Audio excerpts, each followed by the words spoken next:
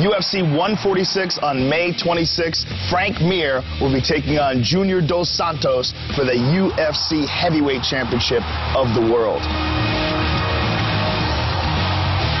Both guys are going to be throwing ridiculous power. Both guys are as good as it gets. Dos Santos is teeing off. One of the things that Junior Dos Santos is so excellent at is imposing his game. That right hand is vicious. His game is keep the fight on the feet, use arguably the best boxing in the heavyweight division to knock his opponents out. He's a big right hand by Junior Dos Santos.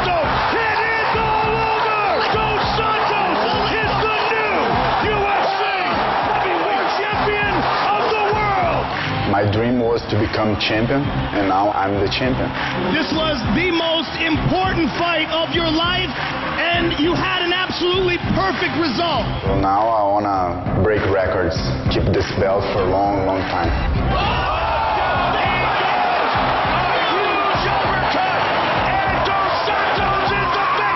You look at his fights over and over again. Junior Dos Santos has a very clear game plan, and even though that game plan has been laid out on the table, no one's been able to solve it. But make no mistake about it, Frank Mir has some of the most devastating submissions in the history of the heavyweight division.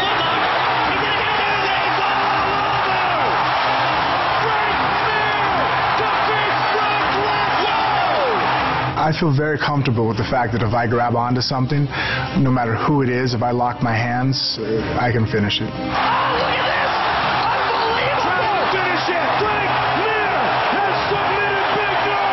There's a grudge match aspect to this fight as well, considering the fact that Junior Dos Santos has a Brazilian Jiu-Jitsu brown belt under the great Minotauro Nogueira, who is the guy that Frank Mir last defeated and didn't just defeat, but defeated him by submission. Now I'm the first person to knock him out, and the first person and only person to submit him.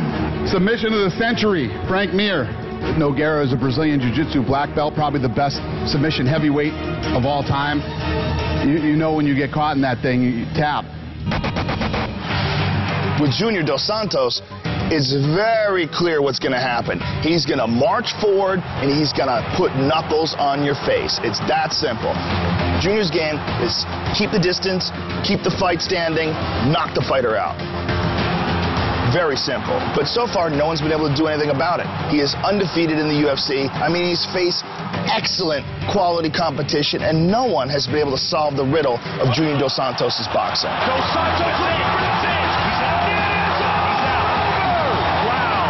I prefer to fight on my feet, to use my boxing skills. I have to do the easier way to win the fight. For me, the easier way is looking for the knockout.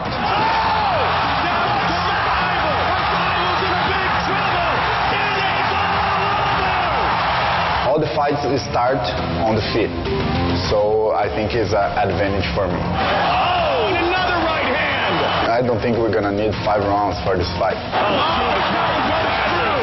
No one has been able to stop the heavyweight juggernaut that is the UFC champion, Junior Dos Santos. Junior Dos Santos with another knockout victory.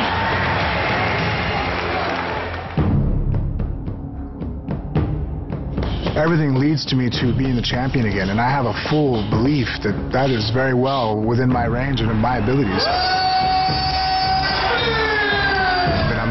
Very, very difficult person to defeat. There is no doubt about it going to be a tremendous amount of confidence in Frank Mir's submission game coming into this fight. It is all over. Frank Mir's on another level.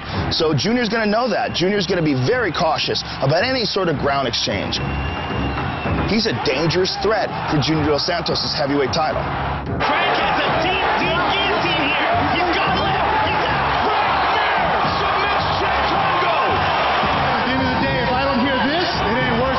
worth. There's only you know three ways to win: knockout, submission, and decision.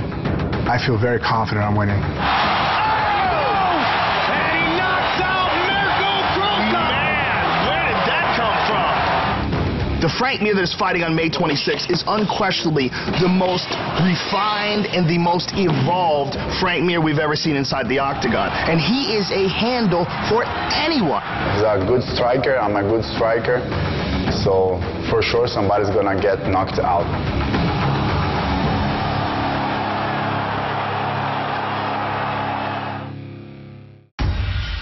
Cain Velasquez versus Antonio Bigfoot Silva is a must-win fight for both fighters, and they're both coming from exactly the same position. There are so many good fighters in the heavyweight division now that a fighter can't afford to lose an important fight like this. It could set them back years and years for a title shot. Cain Velasquez is a storm, a heavyweight who has the cardio of a lightweight. He's really freakish in that regard. I call Cain the Terminator, man. This guy keeps coming at you and will not stop until he finishes you.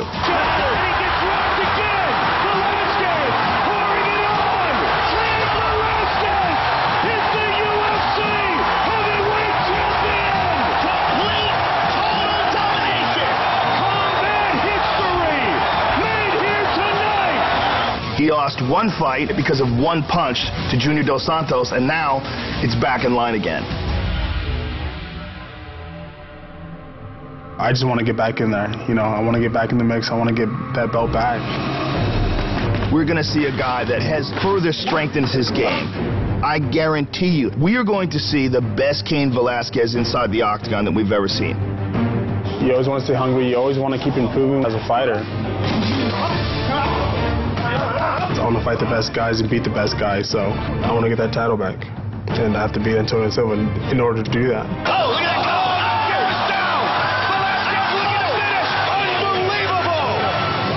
Cain Velasquez, he would love to jump back in there with a devastating and dominant victory to clearly establish his position as the number one contender. The only thing I think about is what I have to do when I go out there. I'm not thinking about a rematch with Dos Santos. I think when my time comes again, I'll take advantage of it. The Cain Velasquez that we're going to see against Antonio Bigfoot Silva is going to be a demon. He's going to come out guns blazing, full of the desire to prove that he's still the best. Velasquez looking to finish. On May 26th, I will defeat Antonio Silva.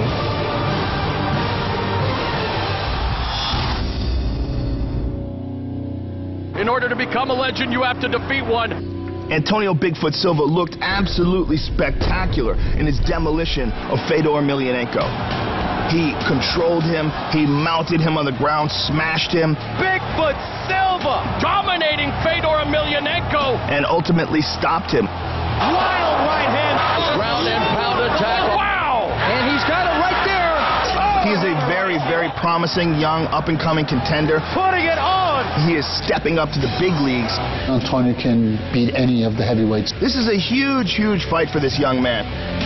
my dream fight UFC.